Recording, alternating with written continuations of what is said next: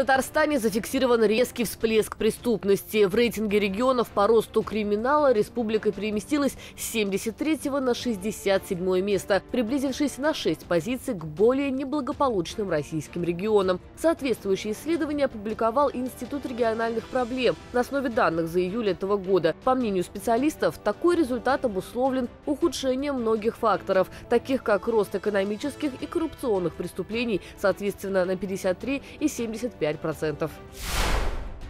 Судебные приставы могут получить полный доступ к кредитным историям россиян. Как сообщает РБК, поправки в закон подготовили в Минюсте. Сейчас получить закрытые отчеты из Бюро кредитных историй могут сами заемщики, Центробанк, нотариусы, следователи или суды. В случае принятия поправок пристав сможет запросить отчет для того, чтобы удостовериться в отсутствии нарушений правил взыскания долга. Татарстане с начала года статус самозанятых получили более 46 тысяч жителей. Из них наибольшее число проживает в столице республики и Автограде. В Казани 12 тысяч, набережных Челнах более 6,5 тысяч человек. Об этом сообщили в пресс-службе Минэкономики Татарстана. При этом чаще всего самозанятые в Татарстане работают в такси. Отмечу, что в следующем году налоговый режим для самозанятых распространят на все регионы страны.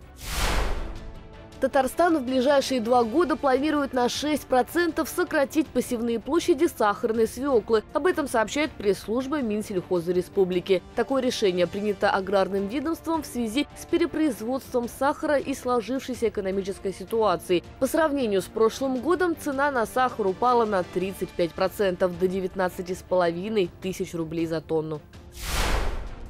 В Татарстане с начала этого года зарегистрировано 7 случаев заболевания корью, 6 в Казани и 1 в набережных Челнах. Об этом сообщает Роспотребнадзор Республики. В ведомстве подчеркнули, что все случаи завозные из Украины, Москвы и Таиланда. При этом все заболевшие были не привиты от кори по причине отказа. В связи с предстоящими новогодними каникулами специалисты Роспотребнадзора напоминают, что люди, не получившие вакцину, остаются в зоне риска. Сделать прививку можно бесплатно в поликлинике по месту жительства.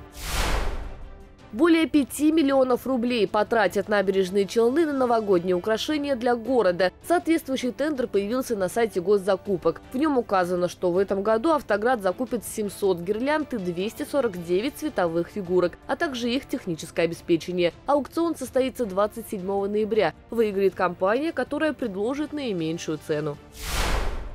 Завтра, 20 ноября, в Татарстане пройдет единый день консультации. Организует его республиканский Росреестр. Татарстанцы смогут получить разъяснения по постановке объектов недвижимости на кадастровый учет, узакониванию планировки, предоставлению имущественного налогового вычета и многим другим вопросам. Вместе со специалистами Росреестра участниками акции станут представители налоговой службы, пенсионного фонда, кадастровой палаты и других государственных органов. Челнинцев с 13.00 до 20 часов ждут в МФЦ, расположенном в поселке ГЭС.